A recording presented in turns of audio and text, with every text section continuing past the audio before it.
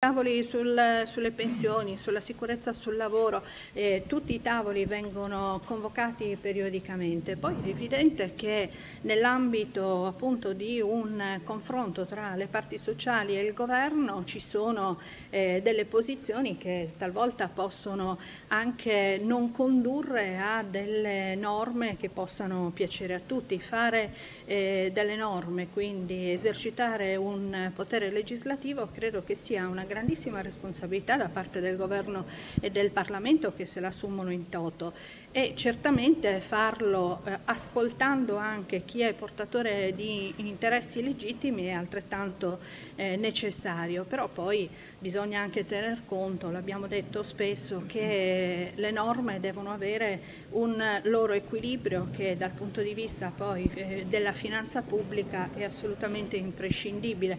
Se non tenessimo conto eh, di questo fattore credo che avremmo ben poco da parlare di futuro se non garantissimo il rispetto rigoroso di quelli che sono i controlli che devono essere fatti sul bilancio dello Stato. Quindi non c'è un incontro sulle pensioni in vista con lei? Ma noi siamo disponibilissimi su tutto, su tutto quanto, sull'intero pacchetto, anche su quello che ovviamente sono gli interventi che poi eh, metteremo in campo per rendere ancora più dinamico il mercato del lavoro. Quindi ecco, non non c'è assolutamente una preclusione, non potrebbe esserci, anzi ben volentieri a breve ecco, eh, individueremo anche una serie di impegni. Certamente però ci dobbiamo mettere al tavolo tutti con la volontà di ascoltarci reciprocamente e non partire dal presupposto di dire ancora prima che eh, sia finito l'incontro che l'incontro non è servito a niente.